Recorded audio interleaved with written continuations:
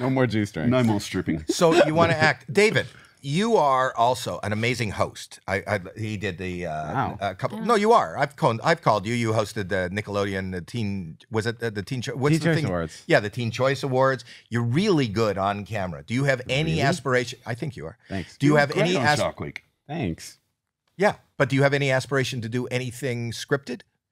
Have you been asked to do anything scripted? No, I- like in a movie. Is when, Yeah, yeah, yeah. aspiration is like when you run a, a long time and, and you, your body gets moisture. Oh. No, it's perspiration. Oh, forget what I said.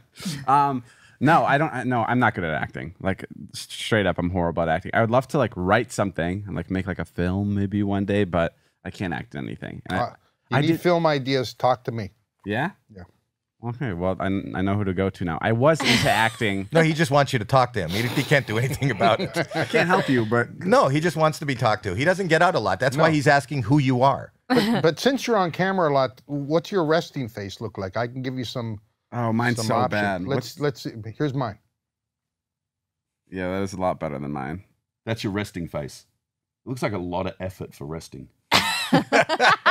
That's show business. Yeah. I reckon you'd be great in the sort of entourage. Uh, why would you come type up with the idea of Me? doing a? Yeah. Re- oh, oh, you're talking. Let them talk. Go ahead. Yeah, wouldn't he be good in a sort of entourage-ish, Lil Dicky type show? I did acting. The, the one thing I did was, uh, do you do you know those commercials that play on the radio? That's like, does your son or daughter want to be a Nickelodeon star? Have you ever heard those commercials? I don't listen to radio. Well, it would play. you listen to radio? uh, I mean, I used to. Yeah, yeah. B ninety He six also point says three. swoon. Oh, come on.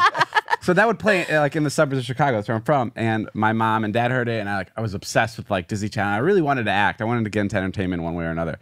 And so we went to this audition, and I they they made me go through a bunch of scenes with this person. Um, and then I got a call like four days later, and they were like, "Your son, he got the role." And my mom was fucking so excited. She was screaming through the entire house.